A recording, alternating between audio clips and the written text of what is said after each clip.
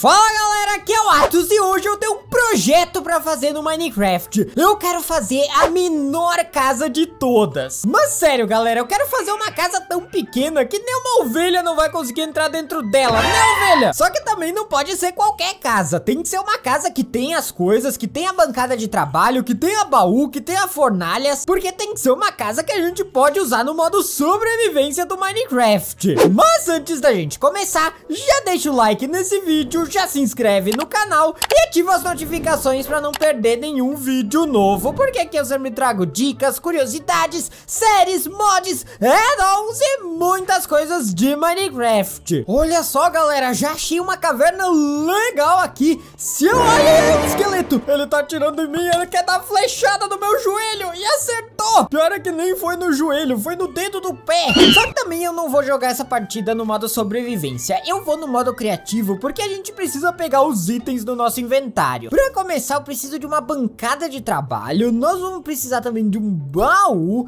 e de uma fornalha, que são as coisas mais básicas que vão em uma casa. Nós também precisamos de uma cama, porque toda casa tem que ter uma cama, e as paredes da casa vão ser feitas com alçapões. Alçapões de madeira, de pinheiro. Vamos então escolher o lugar para colocar nossa casa. Eu não vou colocar aqui porque eu tô ouvindo barulho de criaturas que vem daquela caverna. Então vamos colocar um pouco mais pra cá, talvez nesse morrinho. É, galera, esse morrinho é legal. É um, uma boa localização pra gente construir uma casa. Vamos só tirar essa grama, porque essa grama só me atrapalha, grama chata. Beleza, cortei a grama desse terreno. Agora sim a gente pode construir nossa casa nele. Vamos começar pela cama. Na verdade, eu também preciso de um pouco de madeira pra fazer um acabamento melhor na casa. Primeiro, a gente cava um buraco onde vai ser a cama. Ela vai ficar aqui, beleza. Aí, pra entrar nessa casa, nós vamos precisar de um alçapão. A gente deixa esse alçapão aberto, fecha ele e aí a gente vai estar tá agachado pra entrar na casa. É isso aí, a menor casa do jogo precisa que a gente fique nessa posição pra poder entrar nela. Beleza, aí eu vou colocar uma fornalha aqui, um baú do lado da fornalha,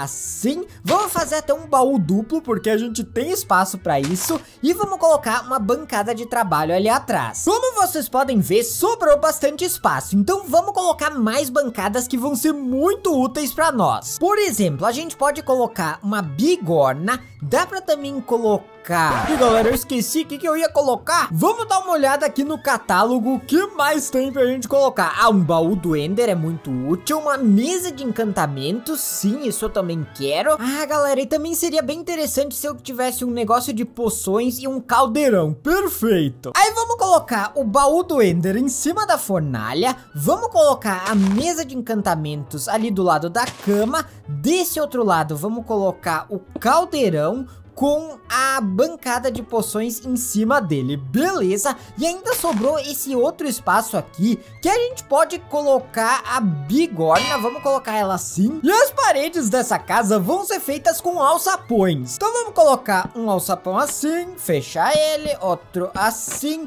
Dava até pra fazer uma janela se a gente quisesse. Vamos então deixar aqui aberto. Talvez eu pegar as placas de vidro e tentar colocar aqui aqui, não, mas elas não ficam muito bem aí, não. Não, vamos deixar sem janela. Sem janela, se a gente quiser, a gente pode abrir e olhar pra fora. Aí, ali embaixo da bigorna, pra ter um acabamento melhor... Não, não, não era pra ter caído a bigorna. Vamos colocar umas madeiras assim, aí fica mais bonito, parece ter um acabamento bem melhor. E vamos continuar colocando as paredes de alçapões assim. Aí eu vou abrir tudo, beleza? E na parte de cima também vamos colocar alçapões. Talvez para deixar um pouco diferente a parte de cima, a gente poderia usar alçapões diferentes. Vamos colocar então esse outro alçapão que é um pouco mais escuro e na parte de cima ele vai ficar mais bonito. E essa é a menor casa funcional que eu consegui construir no Minecraft. Venham conhecer a minha casa. Pra gente entrar nela, é só abrir esse alçapão,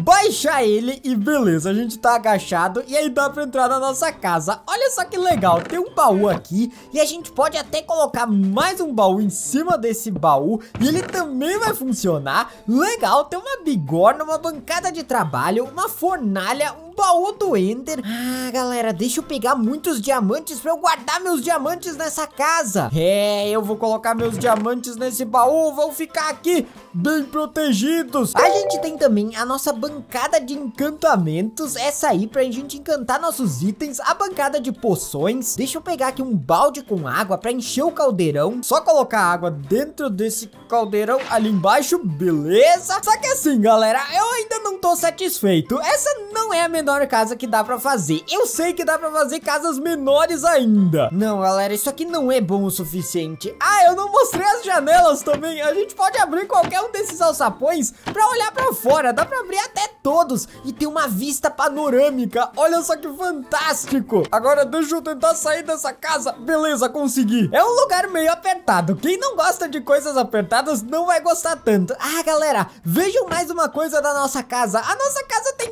teto solar. É muita tecnologia. Só que pra mim isso ainda não tá bom o suficiente. Ainda tem jeitos de melhorar. Porque tudo bem, até como eu falei no começo do vídeo, uma ovelha realmente não consegue entrar naquela casa. Aquela casa já é menor que uma ovelha. Mas se a gente tiver, por exemplo, um papagaio, vou colocar o papagaio ali na nossa cama, pera aí, vamos colocar ele ali e dar sementes pro papagaio comer. Beleza, domestiquei e o papagaio pode ficar dentro dessa casa. Ela ainda é uma casa grande demais. Olha só o tamanho da casa em relação ao papagaio. Não, galera, tá errado isso aí. Essa casa é muito grande, vamos tentar fazer uma casa menor ainda. Pra fazer uma casa menor ainda, eu instalei esse mod do Chisel and Bits, que ele adiciona blocos do tamanho de pixels. Pra quem não sabe, cada bloco do Minecraft é formado por 16 por 16 pixels. Cada pixel é um desses quadradinhos que forma um bloco. Vocês podem ver que cada bloco tem 16 pixels pra cá e 16 pixels pra lá. Agora imaginem se a gente tivesse blocos do tamanho de um pixel. Pois é, é isso que esse mod adiciona. Vamos escolher algum desses bits, algum desses pixels pra pegar. Vamos pegar o pixel de pedra, vamos pegar também... Ah, se eu aperto shift dá pra ver qual bloco que eles são. Que que é isso? É um bit de água? Vamos pegar. E aqui tem um bit de lava. Gostei. Um dos que eu peguei é o bit de pedra, o pixel de pedra. Vamos colocar ele aqui e vejam. Olha isso, galera. É um mini bloco. Um bloco do tamanho de um pixel é muito pequeno. Com esse bloco, a gente vai poder construir a nossa casa. Será que tem mini ovelhas também? Ovelhas do tamanho de um pixel? Não, acho que ovelhas não tem tão pequenas. Eu espero. Cadê o meu mini bloco? Eu perdi meu mini bloco? Onde é que ele tá? Ah, tá aqui. Tá aqui, galera. Achei. Achei o nosso mini bloco. Se eu quebrar ele, ele quebra normal, que nem um bloco normal. Nossa, galera, isso é muito genial. Onde vai ficar nossa casa? Vamos escolher um lugar legal pra construir nossa casa. Pode ser aqui, só tem essa coisa de água. Vamos colocar uma grama aí pra tirar esse buraco. Galera, e tem mais uma coisa genial que dá pra fazer com esses mini blocos. Olha ali o bloquinho na minha mão. A gente pode também desconstruir blocos. Por exemplo, eu vou quebrar esse bloco de grama aqui. Vamos deixar ele com um buraco aí. Quebra grama, quebra. Nossa, galera, funcionou. Eu tive uma ideia. Eu quero ver o que tem dentro de um minério de diamante. Será que dentro do minério de diamante vai ter um diamante gigante? Vamos ver, vamos quebrar ele. Vou quebrar bem aqui no diamante. Olha só, tem mais diamantes pra lá. Quebra, quebra tudo, quebra tudo. Eu quero ver o que tem dentro. Eu quero encontrar o núcleo gigante de diamante. Olha lá, tô chegando em alguma coisa. É ali, galera. Achei, achei o núcleo gigante de diamante. Tá lá. Eu sabia que a minha teoria tava certa. E eu tinha pego antes aqueles blocos de água e de lava. Eu posso preencher tudo isso aqui com água. Ou também eu posso tentar colocar lava do lado da água. E olha só, mesmo a mini água estando em contato com a mini lava, elas não viram obsidian ou pedra. Ou seja, mesmo que a gente colocar a mini água em um bloco, ela não vai escorrer pros lados lados. Por exemplo, se eu colocar a mini água aqui do lado da minha outra mini casa, ela fica ali no bloco que a gente colocou ela. Ela não vai para os lados. Mas então, o que eu quero fazer é uma casa com os mini blocos. Eu poderia fazer uma casa super simples, com paredes de pedra. Vamos construir uma aqui só para vocês verem. Vou primeiro levantar as paredes. Nossa, galera, é muito legal isso. Parece que eu tô brincando de Minecraft dentro do Minecraft. Legal fiz as paredes da casa e agora vamos fazer o telhado da casa usando blocos de madeira. Vai ser um telhado de madeira e paredes de pedra. Aí, metade do telhado já fiz, vamos fazer a outra metade. Tem que cuidar para não esquecer de nenhum mini bloco, porque como eles são muito pequenos, às vezes a gente esquece de algum.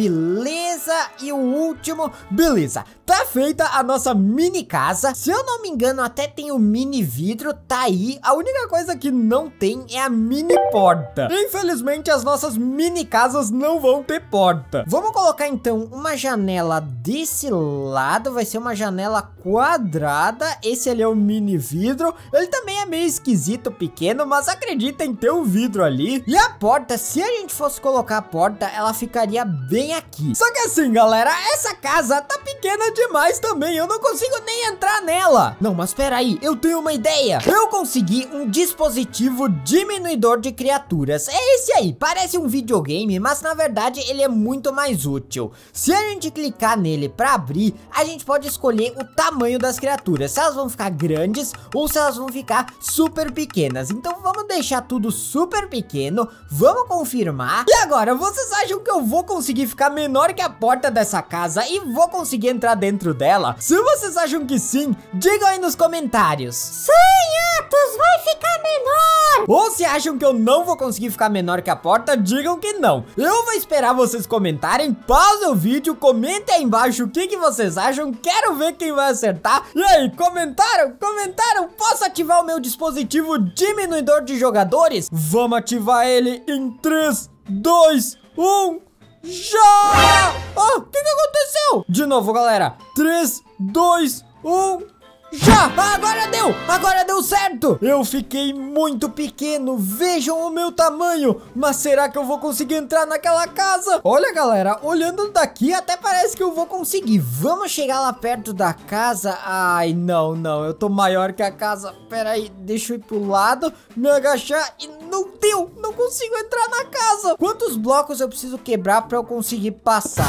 Não, não, eu quebrei toda a casa! Ah, não, galera, agora só de raiva eu vou vou construir uma casa moderna. O bom é que agora, como eu fiquei super pequeno, fica bem mais fácil de construir as coisas. Vamos então começar fazendo as paredes da casa moderna. Vamos só cuidar para fazer a casa numa altura que eu consiga entrar. Não pode ser uma altura menor que eu, porque aí a casa não serve para nada. Aí, galera, deu certo. Eu consigo passar por baixo desse telhado. Beleza? Beleza, construir as paredes da minha nova casa vai ser uma casa meio diferenciada, meio aberta. Agora vamos colocar o chão da casa, quebrar essa grama, que eu não quero grama dentro da minha casa. Eu vou colocar um chão de madeira, vai ficar bem mais legal. Nossa, galera, esse chão de madeira tá ficando bonito mesmo. Beleza, galera, a nossa mini casa já tem chão. Olha só como é que ficou. Agora só falta a melhor coisa da casa. Vamos fazer uma piscina bem aqui onde eu tô. Vai ser uma piscina quadrada mesmo e nós vamos usar esses blocos de água. Vamos ver que tamanho que eu faço ela. Desse lado vai ser assim e desse outro lado vai ir até um pouco pra frente da casa, talvez aqui. Beleza, vai ser desse tamanho. Eu não vou fazer uma piscina com curvas e arredondada ou em L, porque nesses mini blocos vai ficar meio esquisito. Eu acho que a piscina retangular fica bem melhor aqui pra essa casa. Beleza, agora é só preencher tudo com água dessa nossa mini piscina. E tá pronto, galera. Agora eu posso ficar na minha casa tomando banho nessa piscina. Vamos pegar um cachorro aqui, um lobo, e deixa eu pegar também um osso já pra domesticar ele. E eu vou fazer o lobo nascer aqui do lado, beleza? Não, ele é muito grande. Lobo, vem cá. Pega esse osso, lobo. Beleza, beleza, virou meu amigo. Só que ele tá sentado em cima da minha casa. Não, sai de cima da casa, tu é muito pesado. Vai quebrar ela. Minha mini casa que eu demorei tanto tempo pra construir. Isso, sai da minha piscina. Beleza, lobo. Será que eu consigo usar meu mecanismo de diminuir criaturas pra diminuir o lobo? Porque assim, no menu desse negócio que muda o tamanho das criaturas, tem também uma vaca. Então eu deveria conseguir fazer o tamanho das criaturas mudar. Galera, agora eu deixei na configuração pra ficar gigante. Eu agora sou um gigante! Vira! Se transforma! Vai! Consegui, galera! Eu virei um gigante! Agora a mini casa não serve mais pra mim, eu vou pisar nela! E galera, tudo isso que eu mostrei nesse vídeo, tirando aquela primeira casa que a gente fez, é de mods. Eu vou deixar o link desses mods na descrição pra quem quiser jogar, eles são da versão Java. E beleza, galera, esse vídeo vai ficar por aqui. Muito obrigado a todos vocês que assistiram esse vídeo até o final. Deixa o like, se inscrevam no canal e ative as notificações para não perder nenhum vídeo novo. Seja membro do canal, clica no botão azul que tá aparecendo embaixo e me apoia para continuar produzindo esse conteúdo com cada vez mais qualidade. E vocês ainda ganham figurinhas personalizadas para usarem nos comentários. Assista o vídeo que tá aparecendo aí do lado que eu tenho certeza que vocês vão gostar. Valeu, falou e até a próxima. Fui!